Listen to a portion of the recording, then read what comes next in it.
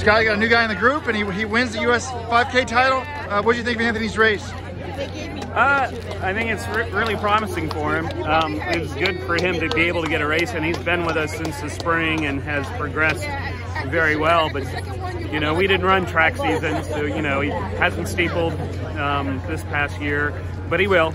And, and, this this is a good indication of his progression and his fitness. I mean, obviously he was a star in college. I kind of tried to. People haven't been paying much attention to him recently. He said he was getting his master's. I mean, when you got him back, what kind of fitness was he in, and did you think he? It took a while. Yeah. It's taken until now, um, and he's obviously we had. The good thing with him is, you know, this um, 2019 we didn't have, you didn't race on the track, we didn't have any pressure. Um, we could take our time and progress him. And from where where his training was in college to where it is now has been a really good progression, and he's built some confidence, obviously, to be able to race with these guys and push the pace. I mean, for them, this is the end of a long, long year, and for him, it's just starting to get focused on 2020. So he said he would go back to the steeple, and you've got two other good steeplers. I mean, how does he compare to them? And you know, I honestly think he's a guy who can medal on the world stage. Um, I think he could, you know, be successful at any event it just as you know as, as, we started to train this year that was one of the questions i had for him.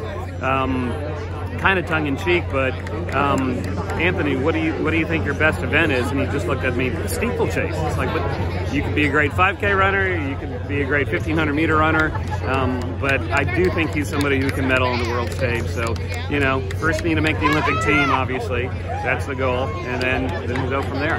Wow um, a few weeks ago, you coached Leonard to the 206 or 207? Yep, yep. Um, was 206.55 or 207.55? Now, uh, 207.50. Yeah, yeah. Six, yeah. So, um, was that the plan all along, or did he just decide to do that after the 10,000? Like, that was kind of a surprise to see him on the start line, and then he ran so no, well. we, we, uh, we, we planned for it, you know, ahead of Doha for sure. Um, but still, we're serious about the 10 in Doha. We really wanted to get the uh, the, the, Olympic standard, which he didn't. Um, so yeah, then the marathon was, you know, was was second thoughts after that. Okay. Um, so he didn't get the standard. You're saying in Doha, 27:40, right? No, he didn't. He was 28 minutes actually. Um, so what's the, what's his plan going to be for 20 for 2020? Well, February is the trials and the marathon, and we'll see how that goes. Okay, so he's going to do that? Yep. Yeah. Yeah, absolutely. Okay. And what about um, Kipchirchir? Is there any chance he's going to do the marathon? Oh, no, no, no. Yeah. Not this year, at least, or not 2020. Yeah. Maybe in the future. He'll be he'll be on the lead he'll be on the lead vehicle tomorrow.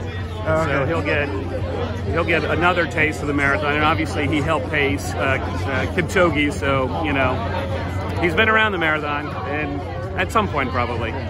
Okay, thank you. Congratulations.